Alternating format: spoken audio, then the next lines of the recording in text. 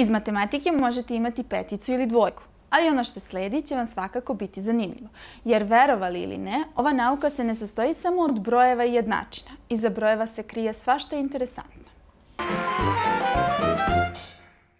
Šta je zajedničko Avon analitičaru, bankaru i prodavcu osiguranja? Mala pomoć. Pita, stubovi i tačke. I dalje ništa?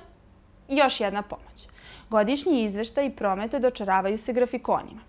Kažu da je Descartes zbog lenjosti stvorio ono što danas znamo kao analitičku geometriju, ali ja mislim da je zbog preciznosti i tačnosti. Takođe kažu da je Descartes bio kockar i fenomenalan matematičar. Celog života bio je kritički nastrojen prema grčkim delima, posebno onim koji su se odnosila na geometriju. Smatrao je da je nezgrapna i nepotrebno teška.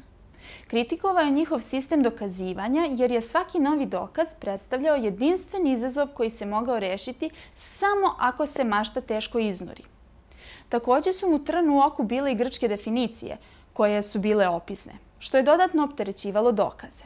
Euklidova definicija kruga glasi Krug je geometrijski lik omeđen jednom linijom, na taj način da su duži koje do nje stižu iz jedne posebne tačke unutar kruga, nazvane središte, jednake dužine.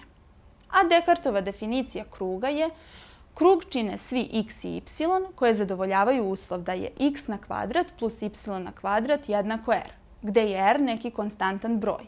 Dekart je preveo prostor u brojeve, odnosno iskazao je geometriju algebarskim pojmovima.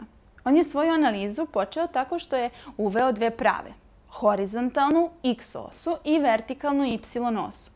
Pa je svaka tačka ravni postala jedinstveno određena uređenim parom x y, koordinatama.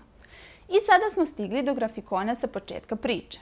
Zahvaljujući Dekartovoj matematičkoj lenjosti, mi danas možemo da pojednostavimo geometriju, odredimo tačan položaj tačke u ravni i napravimo različite vrste grafikona. 20. godina 20. veka nemački matematičar David Hilbert smislio je čuveni misaoni eksperiment, da bi nam pokazao kako je teško zamisliti pojam beskonačnosti. Zamislite hotel sa beskonačnim brojem soba i vrlo vrednim noćnim poslovođem. Jedne noći beskonačni hotel je dubke pun. Ceo je popunjen beskonačnim brojem gostiju. Čovek ulazi u hotel i traži sobu. Ne želeći da ga odbije, noćni poslovođa odlučuje da mu napravi mesta. Kako? Lako. Zamoli gosta iz sobe broj 1 da se premesti u sobu broj 2. Gosta iz sobe broj 2 da pređe u sobu broj 3 i tako dalje. Svaki gost iz sobe broj n prelazi u sobu broj n plus 1. Pošto ima beskonačan broj soba, postoji nova soba za svakog postojećeg gosta. Time ostaje slobodna soba za novu mušteriju.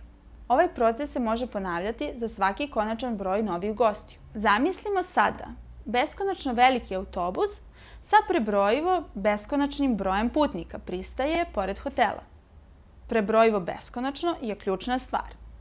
Beskonačni autobus sa beskonačnim putnicima zbunjuje poslovođu u prvi mah, ali onda shvata da postoji način da smesti nove ljude.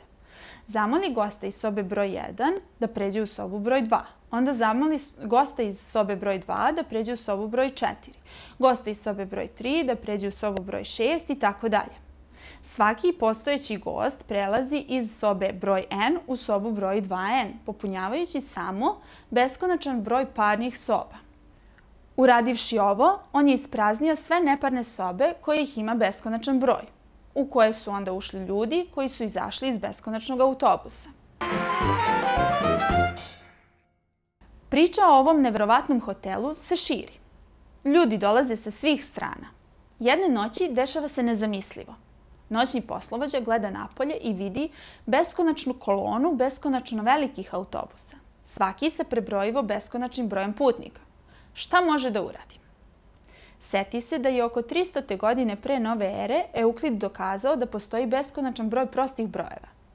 Da bi ispunio ovaj naizgled nemoguć zadatak, da nađe beskonačan broj kreveta za beskonačne autobuse, pune umornih putnika u beskonačnom broju, noćni poslovođa dodeljuje svakom već postojećem gostu prvi prost broj, 2, stepenovan brojem njihove sobe. Tako da gost iz sobe broj 7 odlazi u sobu 2 na 7 a to je soba 128. Poslovođa zatim uzima ljudi iz prvog od beskonačnih autobusa i dodeljuje im sobu broj, sledeći prost broj, 3, stepenovan brojem njihovog sedišta u autobusu. Tako da osoba na sedištu broj 7 u prvom autobusu odlazi u sobu broj 3 na 7, to jest u sobu 2187. To se nastavlja za ceo prvi autobus. Putnicima iz drugog autobusa dodeljuje eksponent sledećeg prostog broja, 5.